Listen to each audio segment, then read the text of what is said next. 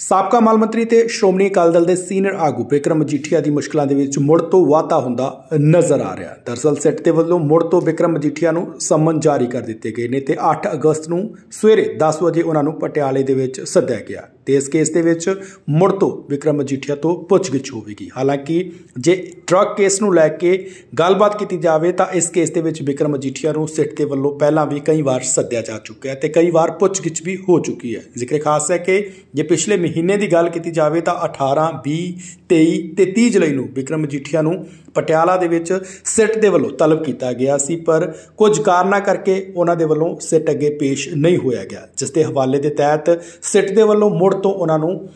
Summons ਜਾਰੀ ਕਰ ਦਿੱਤਾ ਹੈ ਤੇ 8 ਅਗਸਤ ਨੂੰ ਮੁੜ ਤੋਂ ਸਵੇਰੇ 10 ਵਜੇ ਪੇਸ਼ ਹੋਣ ਦੇ ਹੁਕਮ ਸੁਣਾਏ ਨੇ। ਹਾਲਾਂਕਿ ਜੇ ਡਰੱਗ ਕੇਸ ਦੀ ਗੱਲ ਕੀਤੀ ਜਾਵੇ ਤਾਂ ਇਸ ਕੇਸ ਨੂੰ ਲੈ ਕੇ ਵਿਕਰਮ ਅਜੀਠੀਆ ਦੇ ਵੱਲੋਂ ਅਕਸਰ ਹੀ ਇਹ ਸਟੇਟਮੈਂਟ ਦਿੱਤੀ ਜਾਂਦੀ ਹੈ ਕਿ ਉਹਨਾਂ ਦੇ ਨਾਲ ਇੱਕ ਪੋਲੀਟੀਕਲ ਵੰਡੇਟਾ ਕੀਤਾ ਗਿਆ, ਇੱਕ ਸਿਆਸੀ ਰਣਨੀਤੀ ਘੜ ਕੇ ਉਹਨਾਂ ਦੀ ਛਵੀ ਨੂੰ ਖਰਾਬ ਕਰਨ ਦੀ ਕੋਸ਼ਿਸ਼ ਕੀਤੀ ਗਈ ਹੈ ਤੇ ਡਰੱਗ ਕੇਸ ਦੇ ਵਿੱਚ ਉਹਨਾਂ ਦਾ ਕੋਈ ਵੀ ਹੱਥ ਨਹੀਂ ਹੈ। ਉਹਨਾਂ ਦਾ ਕਹਿਣਾ ਹੈ ਕਿ ਹਾਈ ਕੋਰਟ ਦੇ ਵੱਲੋਂ ਸਿੱਧੇ ਤੌਰ ਤੇ ਜਦੋਂ ਉਹਨਾਂ ਨੂੰ ਜ਼ਮਾਨਤ ਦਿੱਤੀ ਗਈ ਸੀ ਤਾਂ ਇਸ ਗੱਲ ਦਾ ਲੇਖਾ ਜੋਖਾ ਜ਼ਰੂਰ ਕੀਤਾ ਗਿਆ ਸੀ ਕਿ ਉਹਨਾਂ ਦੀ ਇਸ ਕੇਸ ਦੇ ਵਿੱਚ ਕਿੰਨੀ ਕੁ ਭੂਮਿਕਾ ਹੈ? ਤਾਂ ਹਾਈ ਕੋਰਟ ਦਾ ਕਹਿਣਾ ਸੀ ਕਿ ਉਹਨਾਂ ਦੀ ਇਸ ਕੇਸ ਦੇ ਵਿੱਚ ਕੋਈ ਭੂਮਿਕਾ ਨਹੀਂ ਹੈ ਕਿਉਂਕਿ ਨਾ ਤਾਂ ਉਹਨਾਂ ਦੇ ਕੋਲੋਂ ਕੋਈ ਡਰੱਗ ਰਿਕਵਰ ਹੋਈ ਹੈ ਤੇ ਨਾ ਹੀ ਕੋਈ ਅਜਿਹਾ ਪੈਸਾ ਰਿਕਵਰ ਹੋਇਆ ਜਿਸ ਦੇ ਤਹਿਤ ਉਹਨਾਂ ਨੂੰ ਦੋਸ਼ੀ ਬਣਾਇਆ ਜਾ ਸਕਦਾ ਮਜੀਠੀਆ ਦਾ ਕਹਿਣਾ ਹੈ ਕਿ ਇਸ ਕੇਸ ਦੇ ਵਿੱਚ ਸਿਰਫ ਤੇ ਸਿਰਫ ਉਹਨਾਂ ਨੂੰ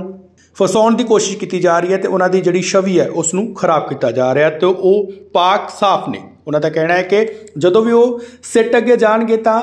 ਤਾਂ ਉਹ ਹਰ ਗੱਲ ਦਾ ਜਵਾਬ ਦੇਣਗੇ। ਪਰੰਤੂ ਵੱਡਾ ਸਵਾਲ ਇਹ ਖੜਾ ਹੁੰਦਾ ਹੈ ਕਿ ਉਹਨਾਂ ਨੂੰ ਇਸ ਤਰ੍ਹਾਂ ਬਾਰ-ਬਾਰ ਸੱਦਣਾ ਕਿਤਨੇ ਕਿਤੇ ਵੱਡੇ ਸਵਾਲ ਵੀ ਖੜੇ ਕਰ ਰਿਹਾ। ਹਾਲਾਂਕਿ ਜੇ ਡਰਗ ਕੇਸ ਦੀ ਗੱਲ ਕੀਤੀ ਜਾਵੇ ਤਾਂ ਇਸ ਕੇਸ ਦੇ ਵਿੱਚ ਜਗਦੀਸ਼ ਪੋਲਾ ਨੂੰ ਸਜ਼ਾ ਹੋ ਚੁੱਕੀ ਹੈ, ਕਿਉਂਕਿ ਜਦੋਂ ਜਗਦੀਸ਼ ਪੋਲਾ ਦੀ ਗ੍ਰਿਫਤਾਰੀ ਹੁੰਦੀ ਹੈ, ਉਸ ਤੋਂ ਬਾਅਦ ਉਹਨਾਂ ਦੇ ਵੱਲੋਂ ਵਿਕਰਮ ਮਜੀਠੀਆ ਦਾ ਨਾਂ ਤੱਕ ਲੈ ਦਿੱਤਾ ਗਿਆ ਸੀ ਕਿ ਇਸ ਕੇਸ ਦੇ ਵਿੱਚ ਉਹਨਾਂ ਦੀ ਭੂਮਿਕਾ ਵੀ ਹੈ। ਹਾਲਾਂਕਿ ਇਸ ਕੇਸ ਦੇ ਵਿੱਚ ਸਿੱਟ ਦਾ ਹਵਾਲਾ ਹੈ ਕਿ 6000 ਕਰੋੜ ਦਾ ਬਹੁ ਕਰੋੜੀ ਡਰੱਗ ਘੁਟਾਲਾ, ਜਿਸ ਦੇ ਵਿੱਚ ਵਿਕਰਮ ਮਜੀਠੀਆ ਨੂੰ ਮੁੜ ਤੋਂ ਸੱਦਿਆ ਗਿਆ। ਤੇ ਹੁਣ ਵੇਖਣਾ ਹੋਵੇਗਾ ਕਿ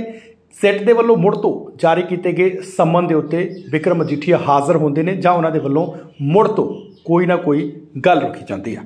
ਸਾਬਕਾ ਮਾਲ ਮੰਤਰੀ ਤੇ ਸ਼੍ਰੋਮਣੀ ਅਕਾਲੀ ਦਲ ਦੇ ਸੀਨੀਅਰ ਆਗੂ ਬਿਕਰਮ ਮਜੀਠੀਆ ਦੀ ਮੁਸ਼ਕਲਾਂ ਦੇ ਵਿੱਚ ਮੁੜ ਤੋਂ ਵਾਧਾ ਹੁੰਦਾ ਨਜ਼ਰ ਆ ਰਿਹਾ। ਦਰਸਲ ਸੈੱਟ ਦੇ ਵੱਲੋਂ ਮੁੜ ਤੋਂ ਬਿਕਰਮ ਮਜੀਠੀਆ ਨੂੰ ਸਮਨ ਜਾਰੀ ਕਰ ਦਿੱਤੇ ਗਏ ਨੇ ਤੇ 8 ਅਗਸਤ ਨੂੰ ਸਵੇਰੇ 10 ਵਜੇ ਉਹਨਾਂ ਨੂੰ ਪਟਿਆਲੇ ਦੇ ਵਿੱਚ ਸੱਦਿਆ ਗਿਆ। ਤੇ ਇਸ ਕੇਸ ਦੇ ਵਿੱਚ ਮੁੜ ਤੋਂ ਵਿਕਰਮ ਮਜੀਠੀਆ ਤੋਂ ਪੁੱਛਗਿੱਛ ਹੋਵੇਗੀ। ਹਾਲਾਂਕਿ ਜੇ ਡਰੱਗ ਕੇਸ ਨੂੰ ਲੈ ਕੇ ਗੱਲਬਾਤ ਕੀਤੀ ਜਾਵੇ ਤਾਂ ਇਸ ਕੇਸ ਦੇ ਵਿੱਚ ਵਿਕਰਮ ਮਜੀਠੀਆ ਨੂੰ ਸਿੱਟ ਦੇ ਵੱਲੋਂ ਪਹਿਲਾਂ ਵੀ ਕਈ ਵਾਰ ਸੱਦਿਆ ਜਾ ਚੁੱਕਿਆ ਹੈ ਤੇ ਕਈ ਵਾਰ ਪੁੱਛਗਿੱਛ ਵੀ ਹੋ ਚੁੱਕੀ ਹੈ। ਜ਼ਿਕਰ ਖਾਸ ਹੈ ਕਿ ਜੇ ਪਿਛਲੇ ਮਹੀਨੇ ਦੀ ਗੱਲ ਕੀਤੀ ਜਾਵੇ ਤਾਂ 18 20 23 ਤੇ 30 ਜੁਲਾਈ ਨੂੰ ਵਿਕਰਮ ਮਜੀਠੀਆ ਨੂੰ ਪਟਿਆਲਾ ਦੇ ਵਿੱਚ ਸਿੱਟ ਦੇ ਵੱਲੋਂ ਤਲਬ ਕੀਤਾ ਗਿਆ ਸੀ, ਪਰ ਕੁਝ ਕਾਰਨਾਂ ਕਰਕੇ ਉਹਨਾਂ ਦੇ ਵੱਲੋਂ ਸਿੱਟ ਅੱਗੇ ਪੇਸ਼ ਨਹੀਂ ਹੋਇਆ ਗਿਆ, ਜਿਸ ਦੇ ਹਵਾਲੇ ਦੇ ਤਹਿਤ ਸਿੱਟ ਦੇ ਵੱਲੋਂ ਮੁੜ ਤੋਂ ਉਹਨਾਂ ਨੂੰ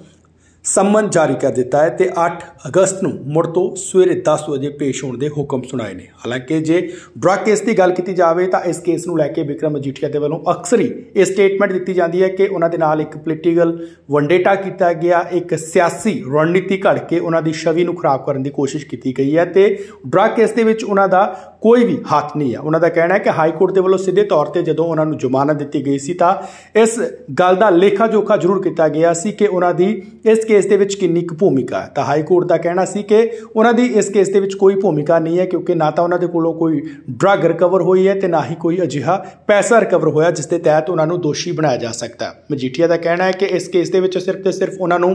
ਫਸਾਉਣ ਦੀ ਕੋਸ਼ਿਸ਼ ਕੀਤੀ ਜਾ ਰਹੀ ਹੈ ਤੇ ਉਹਨਾਂ ਦੀ ਜਿਹੜੀ ਛਵੀ ਹੈ, ਉਸ ਨੂੰ ਖਰਾਬ ਕੀਤਾ ਜਾ ਰਿਹਾ ਤੇ ਉਹ ਪਾਕ ਸਾਫ਼ ਨੇ। ਉਹਨਾਂ ਦਾ ਕਹਿਣਾ ਹੈ ਕਿ ਜਦੋਂ ਵੀ ਉਹ ਸਿੱਟ ਅੱਗੇ ਜਾਣਗੇ ਤਾਂ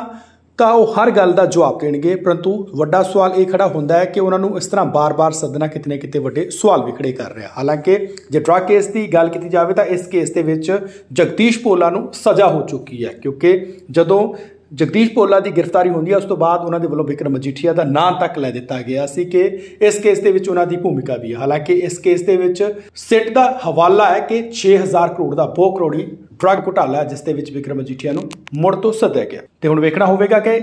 ਸਿੱਟ ਦੇ ਵੱਲੋਂ ਮੁੜ ਤੋਂ ਜਾਰੀ ਕੀਤੇ ਗਏ ਸੰਮਨ ਦੇ ਉੱਤੇ ਵਿਕਰਮ ਮਜੀਠੀਆ ਹਾਜ਼ਰ ਹੁੰਦੇ ਨੇ ਜਾਂ ਉਹਨਾਂ ਦੇ ਵੱਲੋਂ ਮੁੜ ਤੋਂ ਕੋਈ ਨਾ ਕੋਈ ਗੱਲ ਰੱਖੀ ਜਾਂਦੀ ਹੈ